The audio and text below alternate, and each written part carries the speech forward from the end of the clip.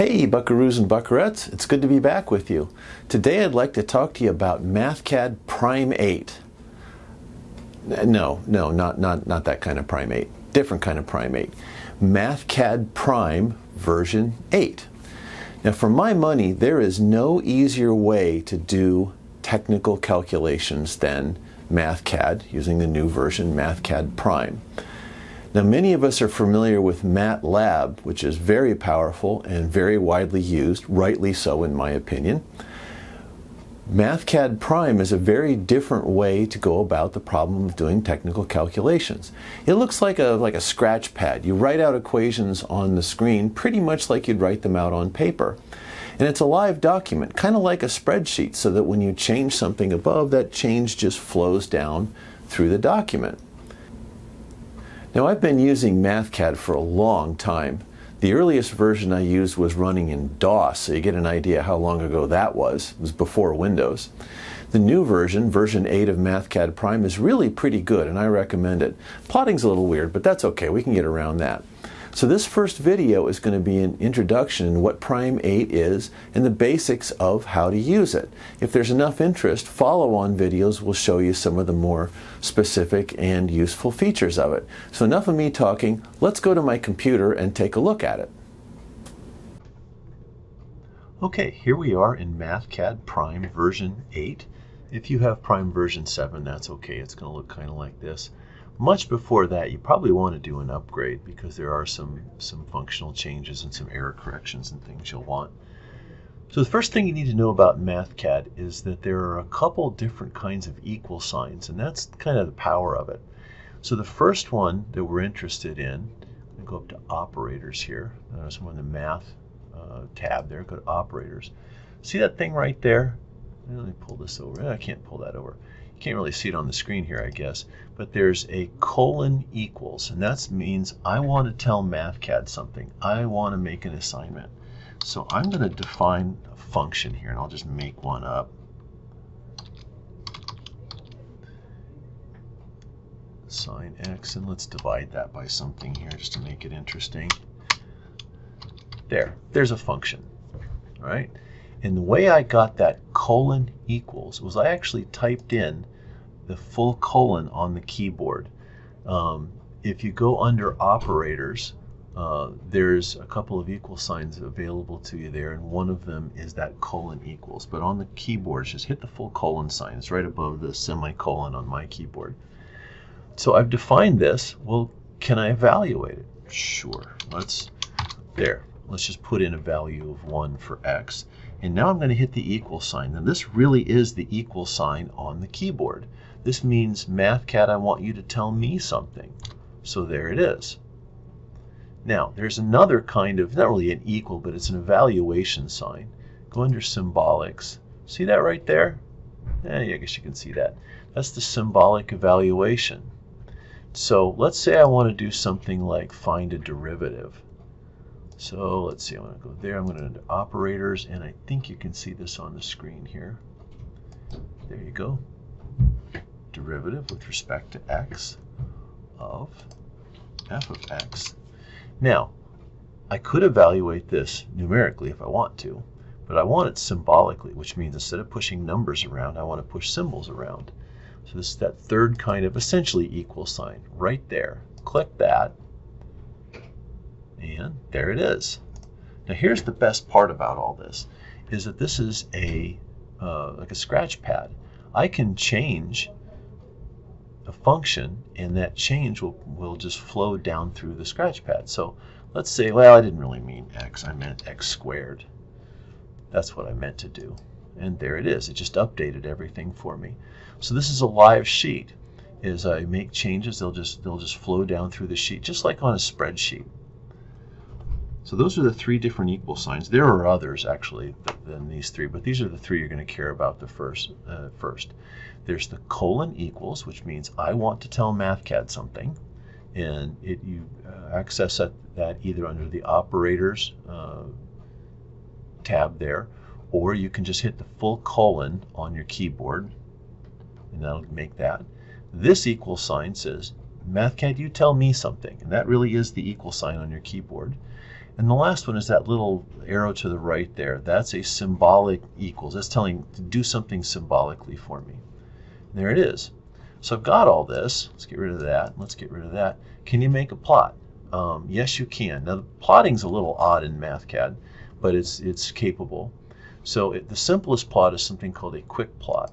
So there it is right there. Go to plots, insert plot, and I want an XY plot. So I'm going to click that, and there it is. All you got to do now is put an x there and an f of x there. And there's my plot. There's what it looks like. Well, maybe I didn't want that x squared. Maybe that was a, I changed my mind. Get rid of that. And now it just updated the plot for me. Um, I can change all kinds of things on this just right on the screen. If I want to change the plot limits, just go ahead and change the plot limits. Let's go from minus 0.5 to 0.5. Click there. Okay, just did that for me.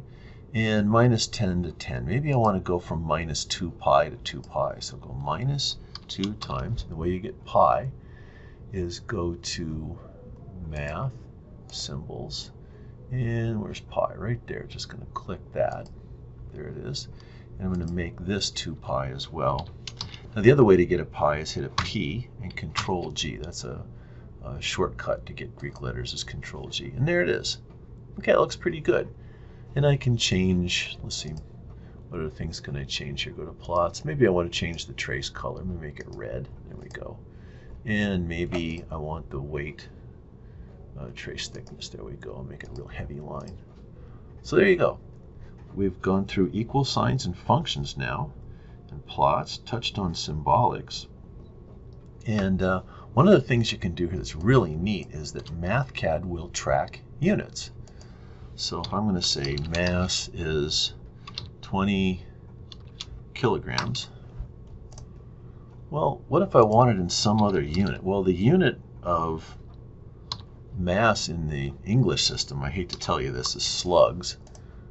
There it is, 1.37 slugs. And if I have a distance, is 20.5 inches. Just hit equals, there it is in meters. MathCAD appears to work internally in metric units. So you type in whatever units you happen to know, and it converts everything for you. Well, maybe I don't want that in inches. Maybe I want that in feet. There it is in feet. There it is in miles. Okay, I can, I can probably come up with some weirder unit in here if I want to, but that's, that's good enough for now. Let's make it millimeters. There we go.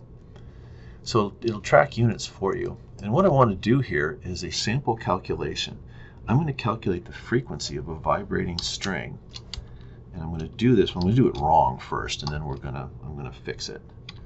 I'm going to go ahead and type in the oops, type in the equation here without defining any of the of the uh, variables, and we'll do that here in a second.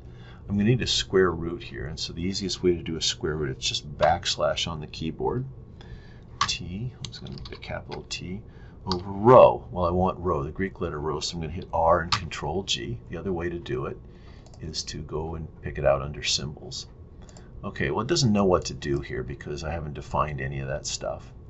Well, I do a lot of work on guitars and the units are all over the place. I happen to know that on my guitar, the length of the string is 25.5 inches. That's the Fender scale if anybody cares.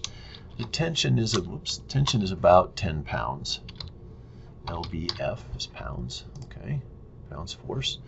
Rho, now rho is mass per unit length, which is really uh, the density of the material times the cross-sectional area of the string. So I know that my diameter is 0.010 inches. Okay, next, and uh, let's see, the area is pi over 4 times diameter squared. That's pi r squared. Pi over 4 times diameter squared. And that's in some funny, there's in meters squared. Let me move this over for you here. Actually, to make more use of the screen, one of the things you can do is go up to document and let's change that to landscape. See, there we go. Now I got room to work. So there it is in meters squared. Well, that's kind of a tiny number. How about millimeters squared? That looks eh, about right. And the density of steel, So rho, control G. Now I want to put a text subscript on here, so I'm going to hit control and then underscore. And I'm just going to call that steel. Well, I only happen to know this number in uh, metric units. Happens to be uh, 7,850 kilograms per cubic meter. So based on that, rho, which is now my mass per unit length, is density of steel times the area. And so now I've got kilograms per meter, which is right. That's density per unit length, or mass per unit length, I should say. And hit that. Well, it comes out 258. That's about right, actually. I was going for the, see, the B string, so that's pretty close. 1 over seconds, what's that? Well, it's actually hertz. Let's just make this hertz. And there it is. Now, what if I say, well, let's see here. I want, you know, that's an awfully small B string. Let's make it something a little more reasonable. Here we go. Well, geez, the, the frequency went down. I might have to raise the tension a little bit. Let's bump the tension up. Still not enough. Wow, that's the big string's killing me here. Well, that's that's closer. So you see the deal here. This is in inches, pounds, feet, in, or pounds force, inches, kilograms per meter cubed, and there it comes out in hertz. Okay, so there's a brief introduction to MathCAD Prime. If there's interest, I can make more videos here, and I can do plotting, symbolics, whatever you guys like. So uh, put something in the comments, and I'll take a look, and if, if people are interested, I'm happy to do more. I hope this helps, and we'll talk to you next time.